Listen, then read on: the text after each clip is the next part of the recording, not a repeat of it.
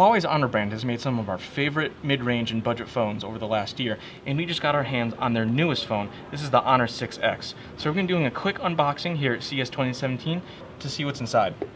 Now, the most important thing you got to know about this phone is that it costs just $249. Um, but even though this is, you know, a budget phone, it doesn't feel cheap at all.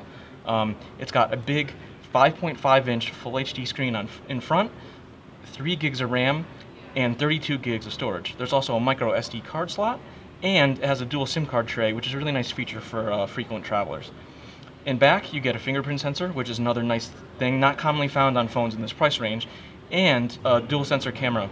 The first camera is a 12 megapixel main camera, and then there's this 2 megapixel secondary camera that lets you adjust things like a depth of field on the fly, something that you generally only find on way more expensive phones like the iPhone 7 Plus.